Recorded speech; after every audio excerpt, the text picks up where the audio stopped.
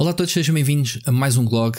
Hoje quero-vos falar daquele jogo que eu ando a jogar há muito tempo e tenho estado muito caladinho, não tenho feito conteúdos para já, não tenho mostrado muito, tenho falado bastante e uh, todos vocês me têm feito perguntas, que é Final Fantasy XIV. Por que razão é que eu estou a jogar um MMO nesta altura do campeonato? Fui jogador de muitos MMOs ao longo dos anos, é um género que adoro jogar MMO, MMOs Uh, o único problema que eu tenho é que é incompatível, obviamente, quando nós fazemos conteúdos, quando nós fazemos vídeos e trabalhos sobre multiplataformas, múltiplos jogos. Um MMO requer que a gente se concentre e foque para uh, podermos, obviamente, desfrutar tudo aquilo que os jogos têm para oferecer. Não é só fazermos a história, fazermos as quests e arrumarmos o jogo. Este tipo de jogo vive por si só. Como vocês sabem, comunidade, uh, os endgames, as raids, os, as dungeons, enfim, o conteúdo uh, final do jogo é algo que atrai uh, quem gosta realmente deste tipo de jogos. Quero fazer este blog para vos dizer algumas das razões pelo qual eu comecei a jogar este jogo que já tem quase 10 anos. Vocês vejam que eu tenho aqui ao meu lado versão PlayStation 3, edição colecionador na altura já do Realm Reborn. Portanto, esta, esta caixa já tem bastantes anos da minha coleção, está selada, eu nunca, nunca tirei. Foi-me oferecida pela uh, Square Enix na, no altura em que eu visitei o estúdio a propósito de um jogo qualquer que eu já não me recordo, sinceramente. Eu acho que foi no Hitman, uh, na, na, altura em que a IO Interactive ainda pertencia à família, um, e ofereceram este título lá. Portanto, está na minha coleção. Nunca me interessou jogar o jogo para a PlayStation 3 ou MMO. Eu não queria jogar um MMO nas consolas, ou pelo menos nunca me agradou a plataforma em si para jogar. Para mim, MMOs é no PC. Mas pronto, isso é uma discussão que não é para aqui chamada. Até porque o jogo, o Final Fantasy XIV, tem uh, mantido uma grande base de jogadores na PlayStation 4 e agora na PlayStation 5, obviamente. Mas pronto, porque é que eu regressei ao jogo? Eu sempre disse que precisava do MMO na minha vida e tenho vindo a procurar alguns uh, eh, MMOs que, que, me agarrem. Uh, joguei bastante o Guild Wars com, com o Mocas, com, com o Ricardo, com o Seixas também jogou um bocado connosco. E é, é um MMO bastante bom. É um MMO em que se compra as expansões, não se paga mensalidade. Este Final Fantasy XIV, que tem a, próxima expansão, obviamente que ajuda um bocadinho no hype, né? Toda a gente a falar. O jogo está com base de jogadores que encosta ao lado o World of Warcraft. Eh, antes disto, deixem-me dizer que eu joguei muito World of Warcraft. Joguei dois anos e quase três anos eh, a nível de raid, a fazer as raids no, nos modos mais difíceis, ter, tentar ser um dos melhores eh, da minha classe no servidor, que consegui em certa parte com, o Warrior a determinado momento, portanto, ter sempre o, o chamado bis, portanto, melhor peça de inventário para cada slot da personagem, e isso obviamente só se faz raidando eh, em alto nível, com guilds, obviamente. E foi um período fixe, foi um período que eu gostei bastante. Obviamente não tinha o canal ainda na altura, não tinha uh, qualquer tipo de compromisso fora do meu trabalho, que na altura uh, trabalhava na Goody, portanto, se trabalhava durante o dia com jogos, tinha tempo à noite para jogar outras coisas que eu quisesse. Uh, algo que não acontece tanto. Obviamente que jogar um MMO é perigoso porque acabamos por cair naquela rotina e obrigação de, de ter que estar uh, sempre a radar todos os dias ao alto nível. Mas pronto, isso já passou. Estou neste momento a desfrutar bastante de Final Fantasy XIV. não joguei o New World a razão é simples, como eu não recebi o jogo, também não estive para investir no jogo, porque é, é, um vanilla, um vanilla com todos os problemas que trazem, apesar de eu achar que o jogo é espetacular pela beta que eu joguei, toda a gente tem falado muito bem do jogo, só que o jogo já sei que ia se esgotar muito rapidamente, enquanto eles não, não para já não, não corrigirem os problemas que o jogo tem, balanceamento, que é normal no lançamento de um MMO, e se olharmos então para este Final Fantasy XIV, a primeira versão foi uma desgraça e foi um milagre. Eh, que não costuma existir sequer na indústria a, a recuperação deste jogo. É incrível como a Square Enix depositou confiança numa, num novo produtor, agora não sei de nome de cabeça dele, que fez um milagre com o jogo, que foi basicamente reconstruir o jogo. Tem estado a ver o, o por recomendação do, do Razer, uh, o No Clip, já vi quase a primeira parte em que se explica como é que é possível uh, uma equipa que teve bastante sucesso com Final Fantasy XI, porque ainda é um MMO que a Square uh, estava a, a, produzir, como é que a mesma equipa depois faz o flop que é o Final Fantasy XIV. E uma das perguntas que ele fez à equipa foi: vocês têm andado a jogar o que se passa à vossa volta? Vocês têm andado a jogar os MMOs do Ocidente? que é para saírem desta bolha, que é os MMOs japoneses, e ninguém tinha jogado. Portanto, um dos trabalhos de casa foi obrigá-los a jogarem jogos como o World of Warcraft e obviamente trazerem ideias. E isto reflete-se bastante neste Real Reborn, que é o, lá, o 2.0, o Vanilla, digamos assim, que a primeira versão foi simplesmente apagada. inserida num contexto de história, um cataclismo e etc. E este jogo é como se tivesse sido passado 5 anos. O que é certo é que ao longo dos anos este jogo começou a ganhar atração, as expansões acrescentaram bastante ao jogo e estamos a receber agora a quarta expansão, uh, Endwalker. Portanto, tivemos a primeira expansão uh, chamada Heaven Sword, depois tivemos Stormblood, que é onde eu estou neste momento, Shadowbringers, que é uh, a expansão atual, até sair o Endwalkers. E portanto estamos a falar aqui de muito, muito, muito conteúdo que o jogo já tem, uma maturação muito grande e isso reflete-se, sei lá, o jogo acho que já chegou aos 25 milhões de jogadores. Não sei quantos é que tem ativamente atual, atualmente, quando a gente diz atualmente é a pagar, porque este jogo tem uma mensalidade. Portanto, se calhar há muita gente que já não está para pagar mensalidades nos jogos. Eu próprio, se calhar, diria a mesma coisa aqui há uns tempos atrás. Mas para este vou voltar a abrir a, expansão, a exceção enquanto eu estiver-me a divertir bastante com o jogo. E eu nem sequer arranhei a superfície deste jogo. Portanto, tem tanto conteúdo. Estou a jogar em conjugação, obviamente, que as coisas tenho para fazer para o canal. Obviamente que não tenho tido tanto conteúdo, mas também a indústria não tem nos bombardeado assim com muitas coisas uh, nesta altura de Natal e, portanto, pelo menos até fevereiro do próximo ano sei que temos aqui algum tempo para, para gerir isto. E, e, e eu estou a fazer este blog de coração aberto, digamos assim, para vos dizer. Já tenho falado, falei na. meti jogadores a, a jogar mocas uh, pelo meu comentário na, no podcast Split Chicken e portanto eu tenho vindo falar, uh, não fiz nenhuma live sequer do jogo, eu tenho sido bastante egoísta naquilo que me diz respeito, porque é a razão é bastante simples. Uh, este MMO não esquece as suas origens, não esquece a origem. Isto é um Final Fantasy. E há quem já considere que este é o melhor Final Fantasy de toda a série, no que diz respeito à narrativa pode ser um bocado subjetivo, mas estamos perante um jogo com uma narrativa expansiva, uh, embora com capítulos fechados, cada expansão abre uh, um novo, digamos assim, um novo, uma nova história e fecha, mas depois temos um arco narrativo geral uh, que, segundo dizem, este quarta expansão vai fechar esse arco e depois o futuro da série há de ser um caminho diferente. Pronto, também não estou bem a par, tenho evitado spoilers, obviamente, das, das, novas, das novas expansões porque este jogo é realmente narrativo. E é tão narrativo porque o jogo, eh, se quiserem desfrutar o jogo como se fosse um Final Fantasy normal, um Fantasy Fantasy linear, história, cutscene, portanto as quests todas lineares, vocês podem fazê-lo, que é o que eu estou a fazer há meses. Neste momento estou a meio da segunda expansão um, e, e posso-vos dizer que de longe a próxima, a próxima expansão sai a 7 de dezembro oficialmente e sai dia 3 uh, eh, para versão uh, Early Access para quem comprar alguma das versões, não tenho a certeza agora, mas posso-vos dizer que eu estou longe sequer de chegar ao ponto de onde vai, portanto eu só vou começar a jogar a nova expansão provavelmente muito mais tarde eh, fiz algum rush, mas é impossível. O jogo tem dezenas e dezenas de horas de história, só de histórias. Eu só tenho feito história, não tenho desenvolvido as minhas profissões, não tenho, uh, só faço as dungeons e as raids que estejam uh, reencaminhadas pela história. E isso torna bastante interessante. Eu tenho desfrutado o jogo como se fosse um Final Fantasy qualquer da, da série. Estou-me uh, a divertir sem ninguém, não preciso de ninguém, eu não olho para o chat sequer. Uh, portanto, não precisam de se preocupar por ser um MMO e há muita gente que tem algum complexo de jogar este Final Fantasy XIV por ser um MMO. E se eu estou a jogar o jogo, obviamente que agradeço ao meu amigo Rurikant que tem jogado. Pronto, ele é especialista em MMOs, obviamente. Ele é a pessoa, se precisarem de alguma informação, de alguma explicação deste jogo, tal como eu já lhe pedi, ele explica uh, tranquilamente o que vocês quiserem nas lives dele. E foi ele, obviamente, a seguir as lives dele que me deu, epá, me deu o clique, dizendo: pá, porque que eu não estou a jogar este jogo? Ainda por cima, porque a Square Enix foi bastante simpática, um, é bastante, está bastante generosa no que diz respeito ao trial do jogo. Uh, agora, porque eu já tinha tentado jogar o Final Fantasy XIV com o Mocas e com o Seixas, na altura em que andamos, andamos sempre à procura de jogos fixos para jogarmos todos juntos. E este era, foi um dos candidatos e jogámos. O problema é que o primeiro trial, quando experimentámos, estava limitado a nível 20 e cada um uh, nascia numa cidade diferente conforme a, a, raça, obviamente, mas depois não nos podíamos juntar, nem sequer podíamos comunicar nos jogos. Portanto, o jogo bloqueia a comunicação entre os jogadores que não estão a pagar, que não têm conta ativa.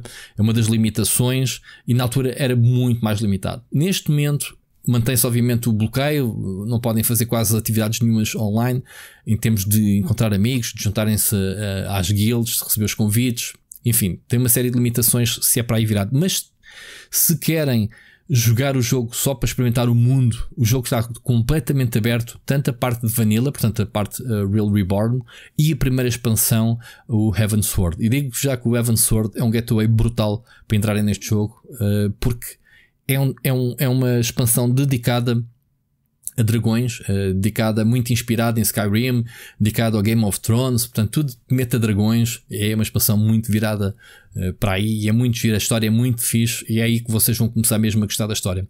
A parte da história vanilla é um bocado seca porque nota-se que já envelheceu um bocadinho, tem muito diálogo, muito texto para ler, uh, os momentos de cutscenes com, com, com diálogos uh, com voice acting são mais limitados, mas depois, à medida que o jogo vem avançando, e obviamente à medida que o jogo foi crescendo e foi, obviamente, tornando-se mais ambicioso, isso foi melhorado e foi se tornando cada vez mais próximo no que diz respeito a Final Fantasy e as suas cutscenes. E portanto, é isso. O jogo tem uma história impecável, uh, que ainda vou, nem sequer a meio vou, mas tem uh, personagens muito carismáticas. Há personagens brutais de todo o universo. Uh, acho que há ali algumas personagens, sei lá, os gêmeos, a Afinô e a, e a sua irmã gêmea. Um, gosto bastante, sei lá, outras, outras personagens. Agora não vos vou dizer os nomes que eu, para decorar nomes. E a Stola, por exemplo, o Cid, que é um inventor que nos faz os aparelhos para voar. Enfim, há uma série de personagens muito giras. Um, de todas as raças possíveis que são bastante engraçadas. Portanto, isso, isto tudo atrai, obviamente. E estava-vos a dizer que é tão generoso que vocês podem jogar então a Vanilla e a primeira expansão sem gastarem um tostão até personagem nível 60. Portanto, o que é mais que suficiente para vocês avaliarem o jogo e, obviamente, decidirem se querem continuar a jogar ou não, pagar as expansões. Que até bem pouco tempo custavam 15 euros para terem um jogo up to date, portanto, quase de borla, digamos assim, e tem que pagar, obviamente, as expansões depois as mensalidades depois todos os meses. Portanto, mas isto faz parte dos bons MMOs, não tem cá problemas de microtransações, não tem problemas de limitações, é um jogo normal. Posso-vos dizer que o jogo não tem grind, é um jogo que posso-vos dizer que nunca me desfiz nada do meu inventário desde que comecei a jogar na primeira hora até agora e ainda tenho espaço no bag, portanto não vos encho o bag de lixo. Todos os itens importantes, como armas e armaduras, têm o seu inventário próprio, ou seja, há um inventário só para espadas ou as armas, Há um inventário só para capacetes, um inventário só para chassis, um inventário só para botas, portanto tudo é independente, cada slotzinha da personagem. Vocês clicam e tem uma lista das coisas que vocês têm uma limitação, mas até que enchem aquilo tudo cheio de, de armaduras e, e de, de, de, objetos, vão demorar muito tempo, portanto raramente tive que pagar até agora. E, e, depois é um jogo que não está sempre a dropar coisas. Eh, vocês nem precisam de revistar os corpos, é tudo automático para inventário e é matérias-primas. Portanto, não vão ver nenhuma lagarta a largar uma espada ou uma armadura. Esquece, isto não existe neste jogo. Todos os itens importantes, armaduras, coisas poderosas, são dadas ou recompensas de quests ou recompensas de baús quando vocês fazem dungeons. E as dungeons são brutais. As dungeons são ao nível, se calhar, muito superiores. Ainda nem sequer vi um décimo das dungeons e raids que o jogo tem para oferecer. Portanto, está ao nível, está completamente inspirado em World of Warcraft. Portanto, quem gosta do desafio, da dificuldade, do, de, das danças, de, das coreografias que vocês têm que fazer, das táticas para derrotar os bosses, está lá tudo, está lá tudo e se calhar está, hum, está mais intuitivo vocês perceberem onde não devem pisar, onde se devem posicionar. O jogo faz esse, esse trabalho muito bem feito. O Hurricane já me tinha avisado sobre isso e são desafiantes, portanto, sobretudo quando o nível sobe é extreme e essas coisas que vocês precisam mesmo de fazer a tática, portanto, uma morte é hype de, do grupo, repete tudo de novo. E portanto, tudo isso é estupidamente divertido e eu tenho muito dessas coisas para fazer. E o jogo insere isso muito bem na história, portanto, vocês não conseguem saltar do vanilla para a última expansão sem passarem pela história toda, esquecem, o jogo não está interessado em que vocês deem esse salto, portanto, vão ter mesmo. Eu lembro-me quando acabei vanilla e eu tenho um checklist de quests, vou acompanhando mais ou menos por onde é que vou, quantas quests é que me faltam fazer, gosto muito de controlar isso. E no fim há uma parte em que, epá, acabei vanilla. E quando vou para acabar vanilla, o jogo não me deixa, sei lá, nas últimas quests da lista ativar sem eu fazer uma questline que nem sequer estava listada. Então vou à procura qual é a questline e essa questline tinha três raids. Portanto, as três raids finais de, de vanilla eu pensei estou tramado. Não vou avançar porque ninguém está a jogar, ninguém está a fazer raids de vanilla, com certeza. O jogo tem um sistema de matchmaking brutal, tem um sistema de, de, de, de raids diárias e de, de dungeons diárias que está sempre a rodar e obviamente há de encontrar pessoal para encontrar. Demorem-se 5, 10 minutos ou até meia hora, como já me aconteceu, mas encontram sempre pessoal para fazer as raids convosco. E elas estão inseridas na história. Portanto, eu fiz as raids à primeira tentativa, porque entretanto não são raids muito desafiantes, pelo menos as primeiras. E avancei na história e fiquei todo contente. Pensei, uh, tão cedo não esperava raidar no jogo e tive uma experiência brutal, porque as raids são sempre acompanhadas de sequências cinematográficas, há muito drama, há muita coisa a acontecer, para além dos bosses, para além de tudo aquilo. Portanto, quem raidou no WoW sabe o que é que estou a falar.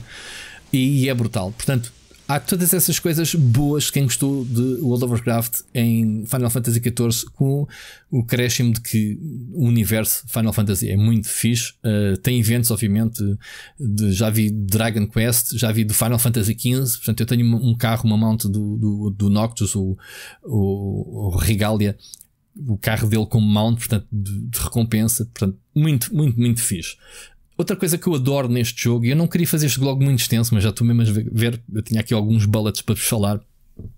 Uma coisa que eu gosto bastante é que vocês podem experimentar qualquer tipo de classe, ou neste caso job, é assim que se chama, na mesma personagem. Não precisam criar duas personagens, um alt, não precisam. Portanto, vocês podem desenvolver todas as classes que tiverem no jogo da mesma personagem, não há nenhuma limitação. Todas as profissões, eh, desde gathering de minério a fazerem as vossas armaduras, as vossas espadas, podem fazer todas da mesma personagem e todas elas têm a sua própria questline. Uh, mesmo as habilidades da classe que vocês escolherem, não é subiste ao nível 10, desbloqueaste uma, uma, uma habilidade. Não, têm que ir à, ao vosso mestre da profissão e ele vai-vos dar uma questline específica para a, vossa, para a vossa classe. E portanto é muito divertido desbloquear ter as nossas habilidades como recompensa de uma quest que fizemos, que vai sendo desbloqueada a X níveis e 5 em 5 níveis vocês desbloqueiam, digamos, o acesso um, a, a, essa storyline para vos dar mais habilidades.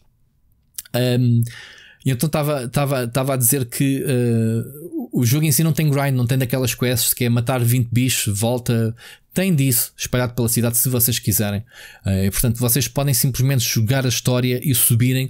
A história vai-vos vai atualizando constantemente uh, o, o, equipamento para estarem sempre up to date, uh, para, para, ir mantendo o nível, digamos assim, de, de, estarem, de terem o item level necessário para fazer as quests, para fazerem os desafios que a, a, a história vos coloca. Portanto, não tem qualquer problema sobre isso. E depois, como eu estava a dizer, todas as classes. Eu agora sou um feiticeiro, nem sequer, amigos, nem sequer. Eu escolhi um. Eu sou, eu sou sempre um warrior, sou sempre um melee. É, sempre foi a minha classe que eu, que eu jogo em todos os MMOs. Desta vez eu decidi, é pá, vou escolher um feiticeiro. Há muito tempo que ando para experimentar um mage e escolhi o Black Mage, é, a minha personagem.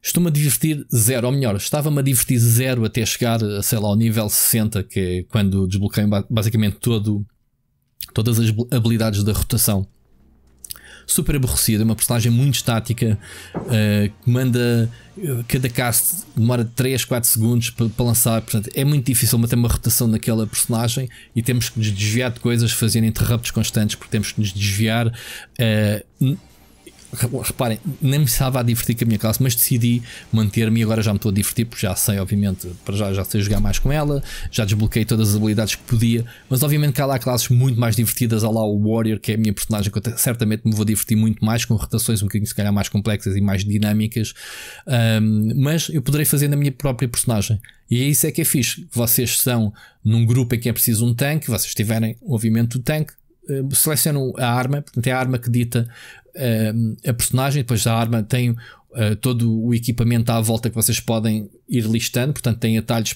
para vestirem a personagem automaticamente, escusam de andar sempre equipar a personagem. Como eu vos disse, o inventário é tão grande que depois vocês vão gerir, vão ter as peças melhores para a vossa classe, não é? Vão, vão colecionando. Isso está muito bem organizado. Os personagens, as profissões a mesma coisa o desafio de, das profissões é em, em, termos de endgame, em termos de os itens mais poderosos são difíceis de fazer e aí é que se distingue depois quem é que se vai especializar numa outra profissão. Mas pronto, jogar com todas as classes também uma personagem acho que é a melhor ideia. Já não é original, obviamente, mas funciona muito bem neste Final Fantasy XIV e para mim é o que mais me mais gostei. Uh, o equipamento é fixe, pá, vocês se virem alguns dos fatos são brutais. Há uns muito mordosos. A, a minha personagem tem muita tendência de, de me vestirem uh, peças de jester, de, sei lá, de palhaço, de, de, sou um black mage, eu quero dar com as minhas gabardinas a isso e já tenho algumas bem porreiras. Mas pronto, uh, há muita variedade. Um, Outra coisa que eu vos queria dizer: o jogo tem um sistema de housing que eu nem sequer experimentei. Portanto, terem a vossa casinha, remodelarem, comprarem os itens, as decorações, essas mariquices todas para quem gosta, o jogo tem.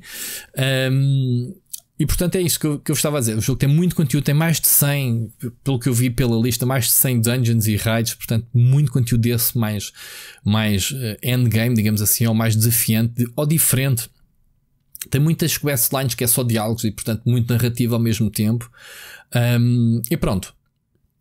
Estava-vos eu a dizer, não, não quero esticar mais, porque senão vamos estar aqui, uh, vamos estar aqui muito tempo. O jogo tem gráficos muito bonitos, portanto, tem paisagens uh, simplesmente espetaculares. Cada vez que, obviamente, com as expansões, o jogo vai ficando mais complexo, mais bonito e mais atualizado. Mas depois temos a banda sonora. A banda sonora é de sonho.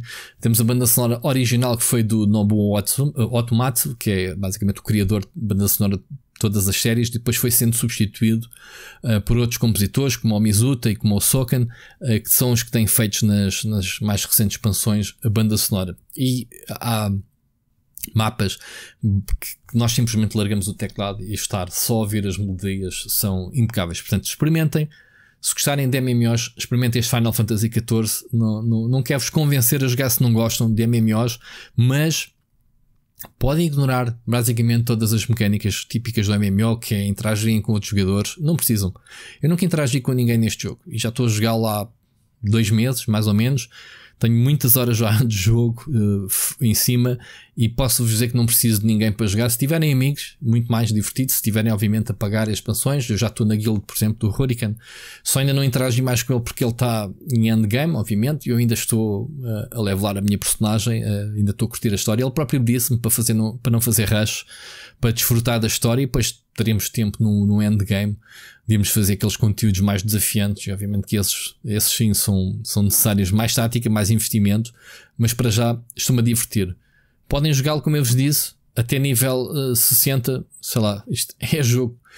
Uh, o Vanilla mais a primeira expansão, vocês têm jogo para dezenas de horas sem gastarem um tostão e, e poderem jogar e divertirem-se. E se quiserem fazer todas as personagens, uh, todas as classes, já tive nível 60, portanto vocês nem que precisam de pagar no jogo e têm sempre conteúdo para fazer de certeza. Obviamente que a tentação é seguir a história e para seguir a história temos que comprar as expansões, mas pronto, é mais que tempo suficiente para vocês ficarem a saber. Eu não, eu não estou a dizer, tenho amigos meus que jogarem e dizem, pá, ah, isto não é para mim, está fixe, reconheço, está bonito, está não sei o quê, mas pá, não vou perder tempo com este jogo porque o jogo vai consumir muito tempo. Portanto, tem que ter alguma mentalidade daquilo que estão a jogar. Estão a jogar um MMO puro, para mim, uh, é o único MMO que ressoou Uh, os meus favoritos, que é o World of Warcraft, obviamente, e o Star Wars Galaxies, uh, foram os meus uh, eh, MMOs que eu mais joguei e que mais gostei de jogar. Portanto, este está no meu top 3, obviamente.